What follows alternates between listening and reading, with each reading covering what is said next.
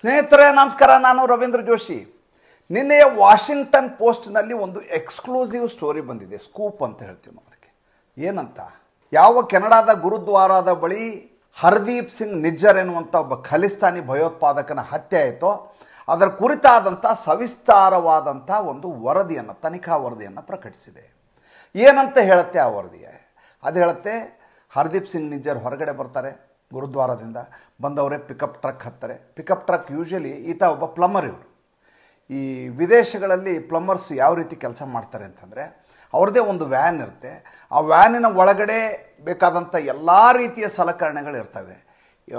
ಏಡಿಯಿಂದ ಹಿಡಿದು ಪ್ರತಿಯೊಂದು ಬೇಕಾಗಿರುವಂಥ ಪರಿಕರಗಳನ್ನೆಲ್ಲ ಆ ಹಿಂದ್ಗಡೆ ಟ್ರಕ್ಕಲ್ಲಿ ಹಾಕ್ಕೊಂಡಿರ್ತಾರೆ ಅದನ್ನ ಹಾಕ್ಕೊಂಡು ಎಲ್ಲೆಲ್ಲಿ ಕಂಪ್ಲೇಂಟ್ಸ್ ಇದೆ ಅಲ್ಲಿ ಹೋಗಿ ಅದನ್ನ ಸರಿ ಮಾಡ್ತಾ ಇರ್ತಾರೆ.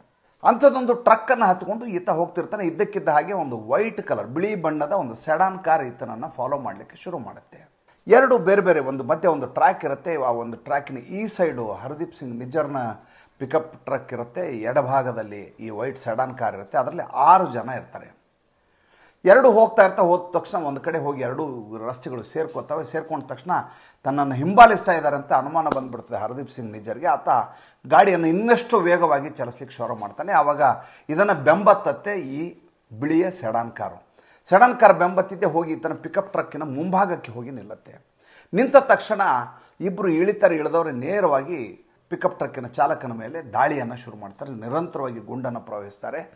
ಆತ ರಕ್ತದ ಮಡುವಿನಲ್ಲಿ ಪ್ರಾಣವನ್ನು ಬಿಡ್ತಾನೆ. ಅಷ್ಟೊತ್ತಿಗೆ ಅಲ್ಲೊಂದು ಸಿಲ್ವರ್ ಕಲರ್ ಕಾರ್ ಬರುತ್ತೆ, ಇನ್ನೊಂದು ಕಾರ್ ಸೆಡಾನು ಆ ಕಾರ್ನ ಹತ್ಕೊಂಡು ಹೋಗ್ತಾರೆ, ಎಲ್ಲರೂ ನಾಪತ್ತೆ ಆಗ್ತಾರೆ.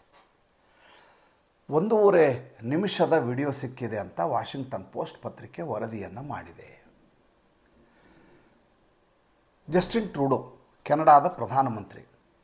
ಈತ ಮಾತನಾಡುವ ಒಬ್ಬ ಪ್ರಧಾನಿ ಮಾತನ, ಮಾತನಾಡುವ ಪ್ರತಿ ಮಾತಿಗೂ ಇನ್ನಿಲ್ಲದ ಹಾಗೆ ಅಂತಾರಾಷ್ಟ್ರೀಯ ಮಟ್ಟದಲ್ಲಿ ಬೆಲೆ ಇರುತ್ತೆ. ಹೀಗಾಗಿ ಹೆಚ್ಚಾಗಿ ರಾಷ್ಟ್ರಪತಿಗಳು ಮತ್ತು ಪ್ರಧಾನಮಂತ್ರಿಗಳು ಬರಹಗಳನ್ನು ಬರೆದಿಟ್ಕೊಂಡು ಅದನ್ನು ಓದುವಂಥ ಪ್ರವೃತ್ತಿಯನ್ನು ಇಟ್ಕೊಂಡಿರ್ತಾರೆ. ಯಾಕೋ ಎಲ್ಲೋ ಶಬ್ದಗಳು ತಪ್ಪಿ ಬಿಡಬಾರ್ದು. ಅದರಿಂದ ವಿಪರೀತ ಪರಿಣಾಮಗಳಾಗಬಾರ್ದು, ವ್ಯತಿರಿಕ್ತ ಪರಿಣಾಮಗಳಾಗಬಾರ್ದು ಅನ್ನುವಂಥ ನಿಟ್ಟಿನಲ್ಲಿ ಯಾವಾಗಲೂ ತುಂಬ ಸೂಕ್ಷ್ಮವಾಗಿ, ತುಂಬ ಆಲೋಚನೆ ಮಾಡಿ, ತುಂಬ ಹೋಮ್ವರ್ಕ್ ಮಾಡಿಕೊಂಡು ಪ್ರಧಾನಮಂತ್ರಿ ಆಗಲಿ, ರಾಷ್ಟ್ರಪತಿಗಳಾಗಲಿ ಮಾತಾಡ್ತಾ ಇರ್ತಾರೆ. ಆದರೆ ಜಸ್ಟಿನ್ ಟ್ರೂಡೋ ತನ್ನ ಸಂಸತ್ತಿನಲ್ಲಿ ಇದ್ದಕ್ಕಿದ್ದ ಹಾಗೆ ಭಾರತದ ರಾ ಏಜೆಂಟ್ರ ಮೇಲೆ ಇದನ್ನು ಹಾಕಿಬಿಟ್ಟ.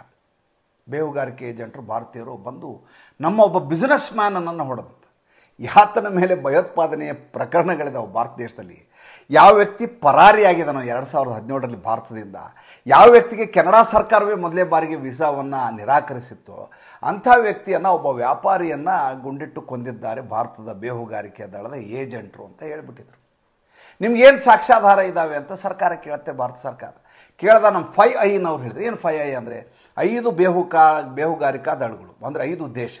ಯಾವುದು Canada, America, Australia, New Zealand ಮತ್ತು ಇಂಗ್ಲೆಂಡ್.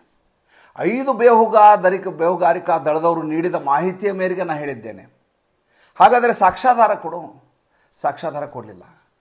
ನಮ್ಮ ನಿಮ್ಮ ದೇಶದ ಹಾಗೆ ಕೆನಡಾ ಅಮೇರಿಕಾಗಳಿರೋದಿಲ್ಲ ಅಲ್ಲಿ ನೂರು ಮೀಟ್ರಿಗೆ ಎರಡು ನೂರು ಮೀಟ್ರಿಗೆ ಒಂದು ಕ್ಯಾಮ್ರಾಗಳಿರ್ತವೆ. ಸರ್ವೇವಲ್ ಲೆನ್ಸ್ ಇರುತ್ತೆ.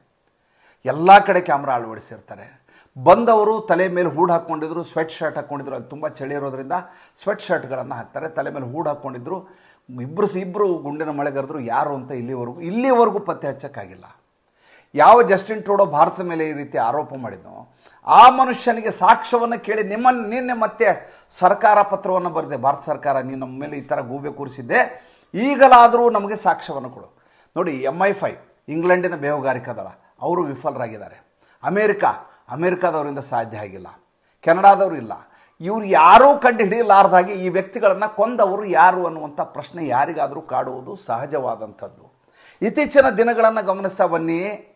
ಇದ್ದಕ್ಕಿದ್ದ ಹಾಗೆ ಪಾಕಿಸ್ತಾನದ ಭಯೋತ್ಪಾದಕರು ಯಾರ್ಯಾರು ವಾಂಟೆಡ್ ಲಿಸ್ಟ್ನಲ್ಲಿದ್ದಾರೋ ಭಾರತ ದೇಶದಲ್ಲಿ ಅವರನ್ನು ಅಟ್ಟಿಸ್ಕೊಂಡು ಹೋಗಿ ಬೈಕಲ್ಲಿ ಬಂದು ಆಗಂತಕರು ಗುಂಡೋಡ್ದು ಹೋಗ್ತಾರೆ.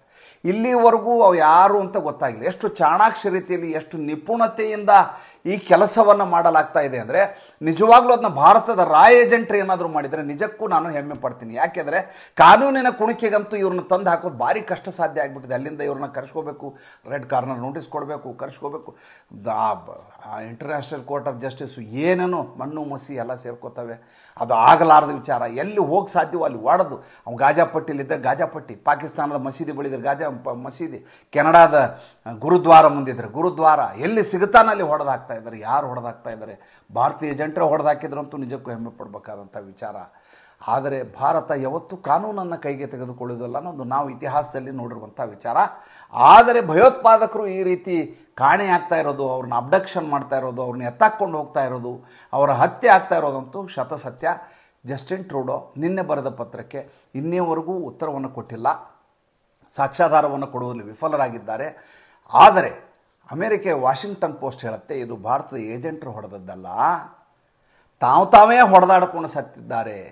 ವರ್ಗ ಸಂಘ, ಅವರವಳೇ ಸಂಘರ್ಷ ಇದೆ, ಗುಂಪು ಸಂಘರ್ಷ ಇದೆ. ತಮ್ಮದೇ ಎರಡು ಕಮ್ಯುನಿಟಿ ಅವರು ಒಬ್ರಿಗೊಬ್ರು ಹೊಡೆದಾಡ್ಕೊಂಡು ಸತ್ತಿರುವಂಥದ್ದು ಅಂತ ಅದು ವರದಿ ಮಾಡುತ್ತೆ. ಮುಂದೇನಾಗತ್ತೆ ಮತ್ತೆ ಮುಂದಿನ ಸಂಚಿಕೆಯಲ್ಲಿ ಹೇಳ್ತೇನೆ. ಸಂಚಿಕೆ ಇಷ್ಟ ಆಗಿದರೆ ಲೈಕ್ ಮಾಡಿ ಫಾಲೋ ಮಾಡಿ ಶೇರ್ ಮಾಡಿ. ನಮ್ಮ ಮುಕ್ತ ಪತ್ರಿಕೋದ್ಯಮಕ್ಕೆ ದಯವಿಟ್ಟು ಆರ್ಥಿಕವಾಗಿ ಬೆಂಗಾವಲಾಗಿ ನಮಸ್ಕಾರ.